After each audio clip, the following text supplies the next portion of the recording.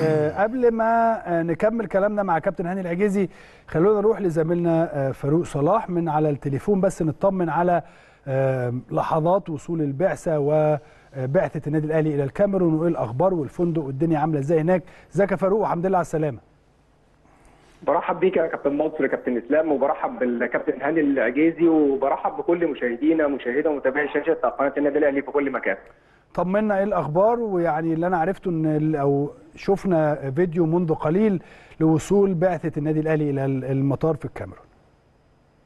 يعني خلينا أقول لحضرتك إحنا حاليا بكلم حضرتك من فندق الإقامة خلاص. هو يعني تقدر تقدر تقول إن الفندق الإقامة بيبعد عن المطار خمس دقائق يا- من مطار جروة إلى مقر إقامة فريق النادي الأهلي. ده أحد الفنادق يعني اللي تم افتتاحه مؤخرا يعني آه هذا الفندق كابتن سام كان تم افتتاحه منذ شهرين بالتحديد اللي بيقيم فيه بعثه فريق النادي الأهلي.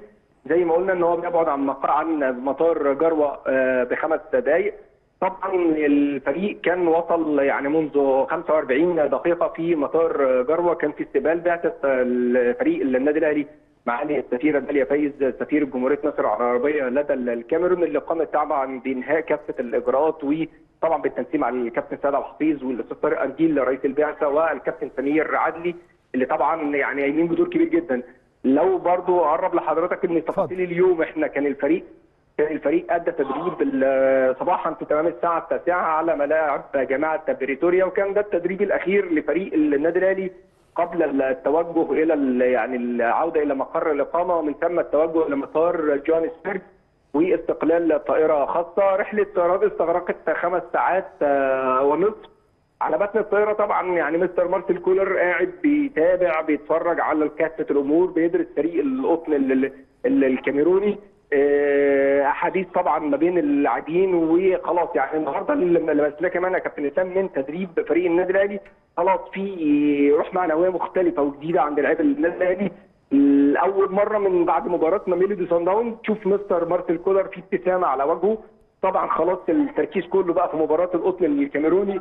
كان ليها حديث مع بعض اللاعبين طبعا قال لك لا إحنا المباراة دي إن شاء الله تكون بداية مصالحة لجمهور ال- النادي الأهلي ونحاول إن إحنا نفوز في اللقاءين وننتظر إن شاء الله يعني المباراة الأخرى لكن هدفنا الأول إحنا نفوز إن شاء الله في مباراة القطن الكاميروني. ده الهدف اللي شغال عليه لاعبي النادي الأهلي. يعني أنا بكلم حضرتك دلوقتي إحنا في المقر ال- فندق الإقامة. كان سريعا تم تسليم كل اللاعبين. لاعبين صعد كل لاعب إلى ال- يعني ال- ال- الغرف حاليا. يعني ال- ال- الاستاذ طارق قدير طبعا متواجد مع معالي السفيره داليا فايز. على التنسيق لكافة ال- الأمور. الأمر بقى المهم جدا يا كابتن إسلام يعني أنا بكلم حضرتك حاليا. طبعا التو- التوقيت آه، في في جروة في مصر حاليا متقدم بساعه عن جروة. في التوقيت عند حضرتك حاليا 11 ل 10 التوقيت هنا في جروة 10 ل 10 في التوقيت ده درجة الحرارة حاليا يا كابتن إسلام بتتكلم في 33 درجة مئوية. يعني درجة حراره عالية جدا. درجة الحرارة بال- بالنهار بتتراوح ما بين 42 ل 44 درجة مئوية. أعتقد يعني طقس صعب جدا وطقس حر جدا بس إن شاء الله لعيبه النادي الأهلي تكون في كامل تركيزها يعني إن شاء الله في هذه ال- المباراة. طيب برضو من خلال ال- الكلام اللي إحنا سمعناه وعارفينه أن آه، فريق القطن الكاميروني أو إدارة فريق القطن الكاميروني هتفتح الاستاد مجانا للجمهور وأيضا يعني اتكلموا مع المدرب إنه في حالة خسارته أو تعادله مع النادي الأهلي سيكون آه، أو آه، هيتم إقالته. اتكلموا أيضا رصدوا مكافآت كبيرة جدا للاعبين. هل ده واصل للاعبتنا ولا لأ؟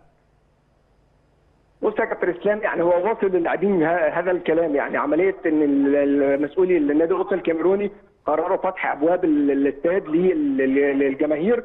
خلاص بقت يعني تقدر تقول طريقة أو وسيلة لكل الفرق اللي هتلاعب ال- ال- ال- النادي الأهلي وصل هذا الكلام للاعبي ال- النادي الأهلي. أيضا ال- الفريق- المدير الفني لفريق القطن الكاميروني بعض طبعا ال- ال- المصريين أو الزملاء الموجودين هنا أكدوا لنا طبعا إن الأمور ما بينه وما بين إدارة نادي القطن الكاميروني مش يعني مش على أفضل ما يكون. خلاص يعني نتيجة الهزايم في ال- المباراة السابقة في دور المجموعات يعني تقدر تقول خلاص يخليها إدارة القطن الكاميروني زي ما حضرتك قلت منتظره لقاء الأهلي.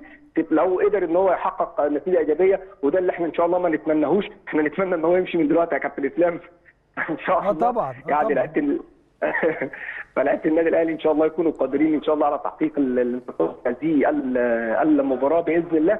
عايز برضه أقول لحضرتك إن صباحا هيكون طبعا في الاجتماع الفني الخاص بالمباراه وأيضا يعني هيكون في التدريب ال- أو المؤتمر الصحفي لمستر مارتن كولر وأيضا المدير الفني لفريق القطن الكاميروني هيكون في تمام الساعة الخامسة للمدير الفني للقطن الكاميروني وخمسة ونص للنادي الأهلي. وأيضا هيكون التدريب النادي الأهلي على ملعب المباراه هيكون في تمام الساعة السادسة. يعني زي ما باكد لحضرتك إن شاء الله إن شاء الله من اللي إحنا شايفينه من اللاعبين في التدريبات اللي شايفينه النهارده وإحنا على القاهرة لا في روح جديدة في لعيبه النادي الأهلي في هدف إن شاء الله إن هم يصالحوا آه، جماهير النادي الأهلي. وأيضا يا كابتن إسلام إن هم يصححوا مسار ال- ال- ال- الفريق في البطولة الأفريقية. كان ليا حديث طبعا مع الأستاذ طارق قنديل قال الكابتن الخطيب بيتابع معايا كل كبيرة وصغيرة. الكابتن الخطيب بكل التفاصيل في كافة الأمور الكابتن الخطيب متابع كل الظروف الأمور الخاصة ببعثة فريق النادي الأهلي وتوفير جو مناسب للفريق إن شاء الله في هذه المباراة.